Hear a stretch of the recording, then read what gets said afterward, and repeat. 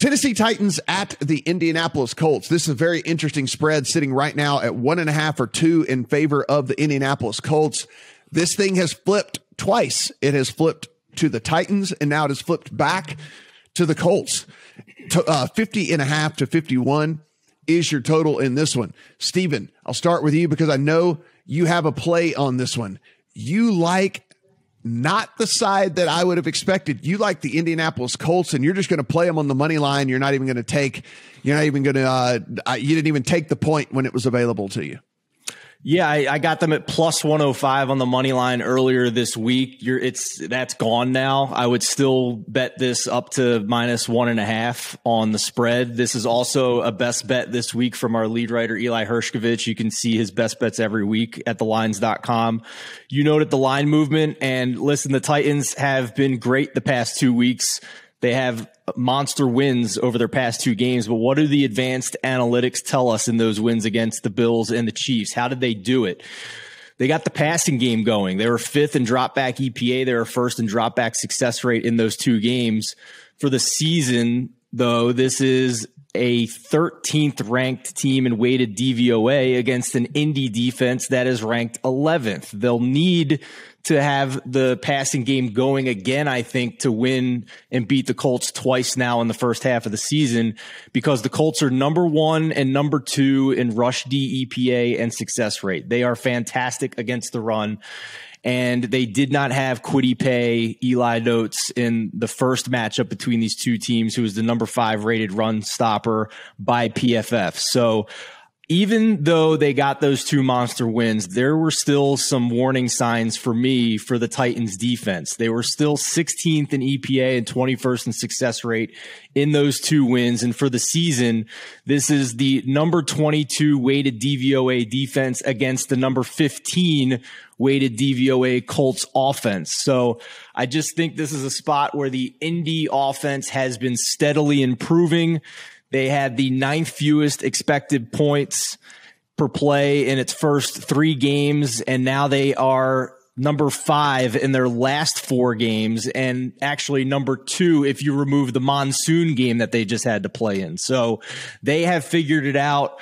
Carson Wentz has figured it out, minus a couple of monsoon game slips of the ball out of his hand and bad decisions. But in normal situations, this game in a dome on the fast turf, I think there is a lot to like here about this Colts improving team, and I was happy to get plus money on them.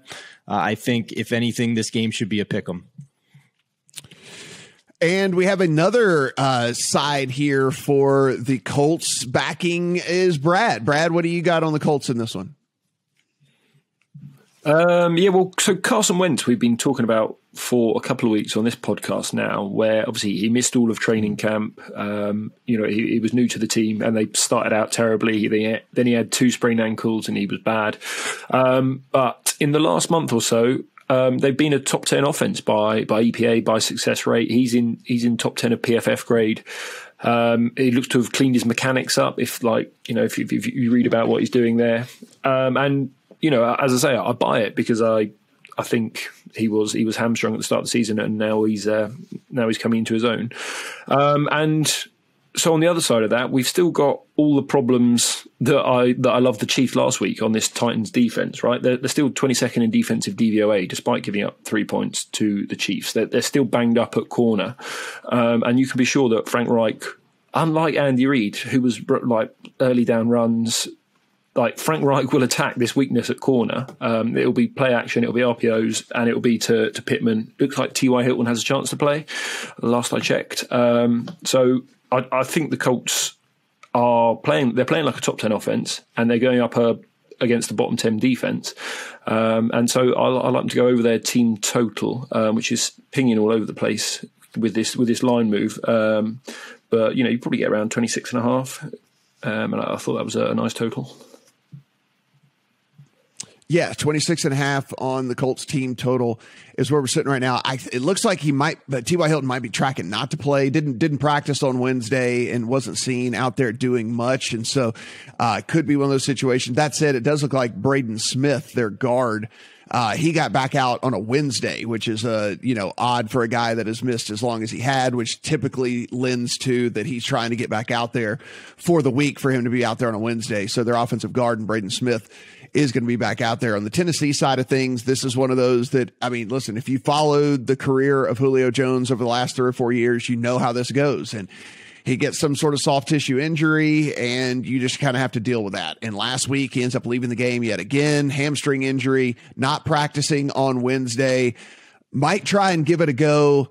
Uh, Steven, you're you're a big fantasy player. I call it the Julio go, which is like he goes and then leaves the game every single time. Yeah. Like, like, yeah, he's going to go, but he goes and then he leaves the game every single time. So it's like you can't really, it, Julio being a go is not really like a go for just about any other player on the face of the planet. So, um, it, it again, he is, he has said he is trying to get out there this week. He probably will try and he probably will try and he'll go run 11 routes and then he'll end up back on the sideline.